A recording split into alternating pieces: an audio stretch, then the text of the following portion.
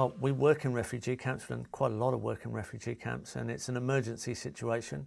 And um, um, it's a time sensitive situation, and uh, often it's a space sensitive situation. Refugees are uh, in an emergency, they don't have a lot of time. It's a recent event. Um, they've left a country. The definition of a refugee is they've left a country, their country or their homeland, uh, under the threat of their life. Um, so they're very stressed and they've often been through absolute tragedy. Uh, space is crucial um, as well as time. So just giving people some hope and some engagement um, and something that they can achieve that links them back to natural processes.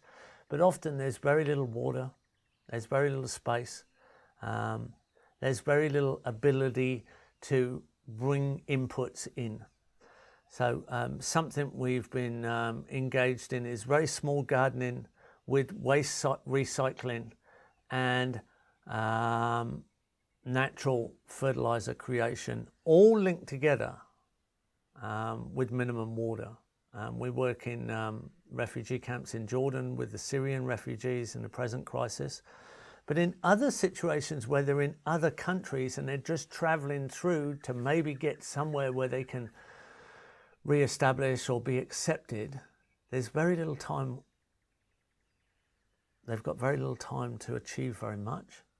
But everybody's still going to go through their basic functions. So people are still going to wash, still people try and look after themselves. They're still going to clean their dishes. They're going to have grey water outputs. So we often put in small reed bed grey water systems to show people there are natural ways we can clean our grey water, especially if we're using natural soaps and natural detergents.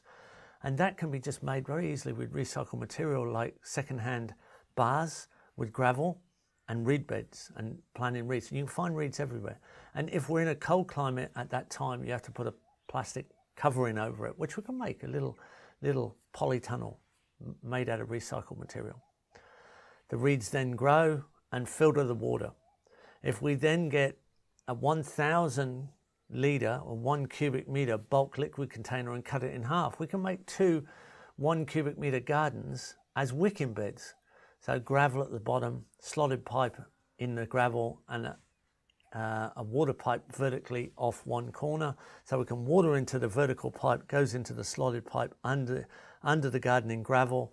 We had a shade house between, a shade cloth between the gravel and the, and the compost addition soil on top and we can garden. We have the lowest water use garden in the world there. You can't have a low water use garden. So you can clean up your grey water enough with a bath or a few baths.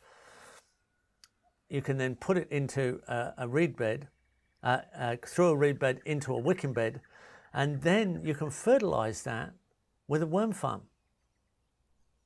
or a very small Berkeley compost. But a Berkeley compost takes more action and it takes up a little bit more space. And space is a premium in refugee camps and refugee, situ refugee situations. Once you've got the system rolling, you can, you can have it all linked together.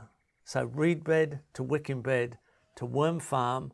The worm farm fertilizes the wicking bed because it's really a large container garden and has to be continuously fertilized.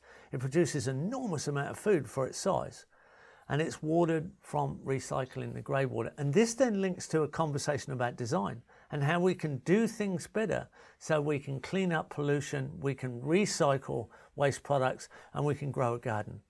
And then that may lead on, hopefully, to other design applications, other design thinking, and then we go into an educational process potentially. And, and that's enough.